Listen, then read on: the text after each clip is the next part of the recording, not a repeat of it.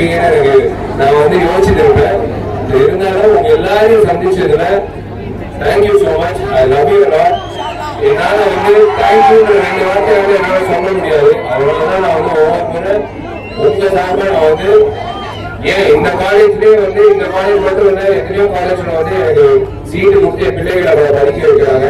நான் பெருமையா சொல்லிக்கிறேன். என் என் குடும்பம் பெருசு? எனக்கு கல்யாணம் ஆகல. இருந்தாலும் எனக்கு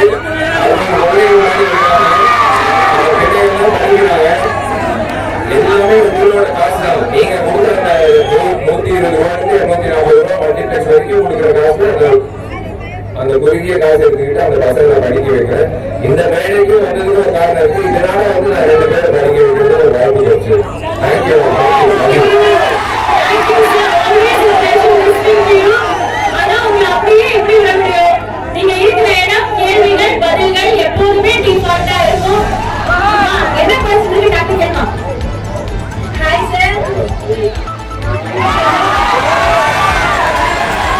Thank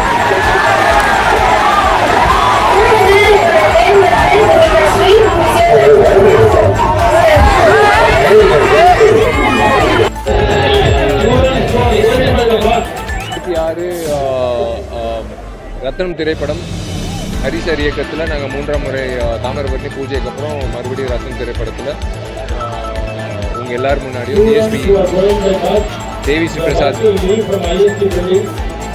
தேவி ஸ்ரீ பிரசாத் இசையில் நான் முதல் தடவையாக வேலை செய்கிறேன் இது வந்து உலகமெங்கும் தமிழ் தெ- தெலுங்கு மலையாளம் கன்னடா எல்லா மொழிகளிலும் ரிலீஸ் ஆகுது. ஸோ ஒரு மிகப்பெரிய ரிலீஸ் ஏப்ரல் டுவெண்ட்டி சிக்ஸ்த்து இந்த வெள்ளிக்கிழமை.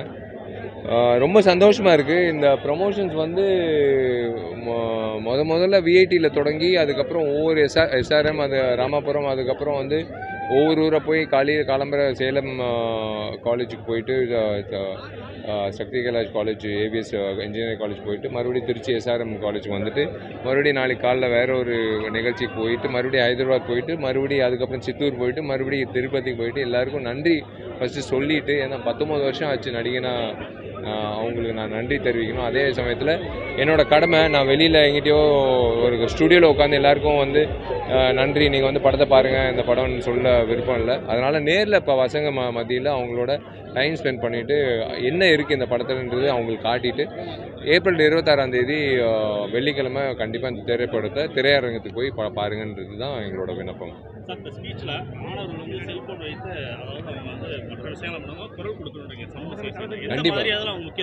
இல்லை குரல் கொடுக்கறது வந்து இன்னாரு தான் குரல் குரல் கொடுக்கணும்னு அப்படி இல்லைங்க. நீங்கள் எத்தனை பேர் அதிகரி அதிகரிக்கும் போது நீங்கள் உண்மையிலே சொல்கிறேன் வேலை செய்கிற ஊழியர்களாகட்டும் கவர்மெண்ட் ஆஃபீஸில் எந்த ஆஃபீஸில் இப்போது நான் ஒருத்தன் வந்து central board of film certification பாம்பேயில் வந்து என்னை வந்து லஞ்சம் கேட்டாங்க.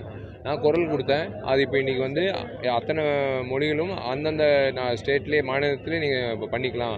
நீங்கள் பாம்பே வரணும்னு அவசியம் இல்லைன்னு பண்ணிட்டாங்க. அரெஸ்ட் பண்ணாங்க. நடவடிக்கை எடுத்தாங்க சிபிஐயில் இப்போ நான் மட்டும்தான் குரல் கொடுக்கணும்னு அவசியம் கிடையாது. அதே மாதிரி சமுதாயத்தில் ஏதோ தவறுகள் நடக்குதா? நீங்கள் வந்து குரல் கொடுக்கணும். நீங்கள் குரல் கொடுக்க கொடுக்க அவங்க பயம் ஏற்ப ஏற்படுத்தும்.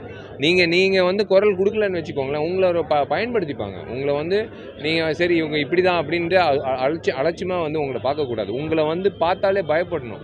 நீங்கள் ஏதாவது நாங்கள் ஏதோ தப்பு பண்ணால் இவங்க வந்து கண்டிப்பாக கண்டுபிடிப்பாங்க. இவங்களுக்கு வந்து இவங்களை வந்து ஈஸியாக வந்து அ- அமுக்கிட முடியாது. அப்படின்றது தான் நான் வந்து சொல்ல சொல்ல விருப்பப்படுறேன் எல்லாருக்கும்.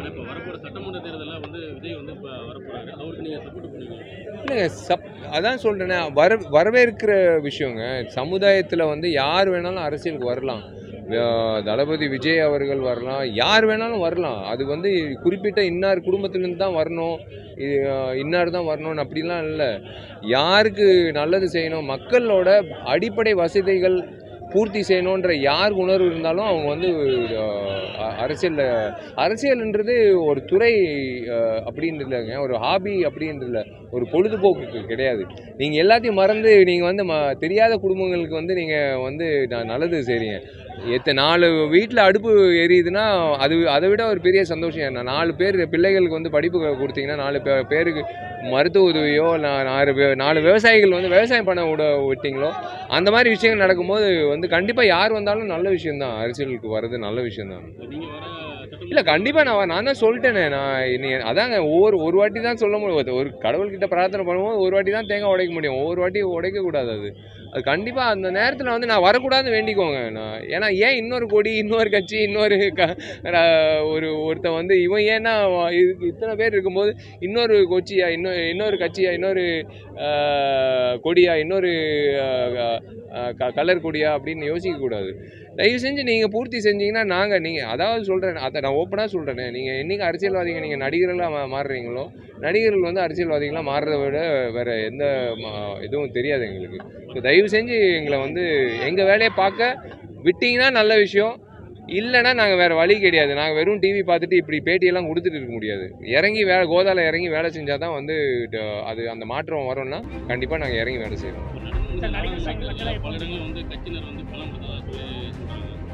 அதை மக்களோட பணம் தான் அதான் சொன்னேனே மக்களோட பணம் திருப்பி மக்கள்கிட்ட கொடுத்து ஆட்டையை போட்டு மறுபடியும் அஞ்சு வருஷம் உட்காரலான்னு பார்க்குறாங்களே நீங்கள் அதான் அதான் சொல்கிறவங்க இது எங்கிட்ட இருந்து வந்தது? அவங்க சம்பா அவங்க சம்பாதிச்ச மாதம் மாதம் நம்மலாம் நீங்களாம் வந்து மாதம் மாதம் சம்பா சம்பாதிக்கிறது உங்களுக்கு தெரியும். நீங்கள் ஓப்பனாக சொல்லலாம்.